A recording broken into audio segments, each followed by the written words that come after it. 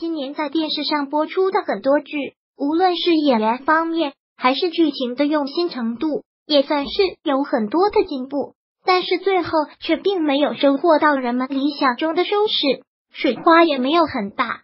但是在这平淡的收视下，香妮却脱颖而出，收获得了很多观众的喜欢。其实这部剧真的还是十分出色的，除了一众年轻演员的良好变现，还有其中的一些造型特效也都做得很好。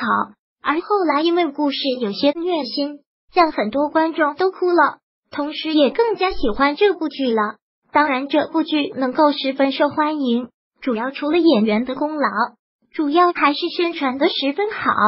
在宣传的时候。杨子也一直拉着自己的一众圈内好友宣传，那么张一山自然是跑不了的了。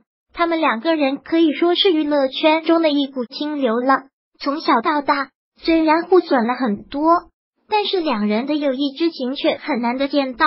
人们对于他们两个认真演戏也十分真实的人都特别喜欢，对于两人的剧也十分看好。张一山在宣传的时候。还称自己也在这部剧中有出演，于是吸引了很多网友一直在找剧中的他到底在哪里。不过网友们找了好久都没有找到，于是便想着他是不是演的是柳大这个角色。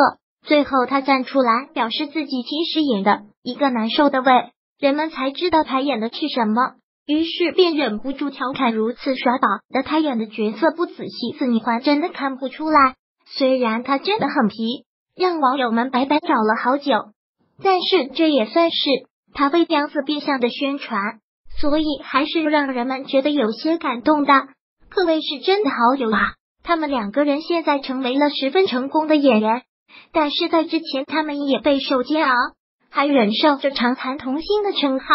如今通过他们的努力，才收获了人们的肯定，相信未来他们会更加的好。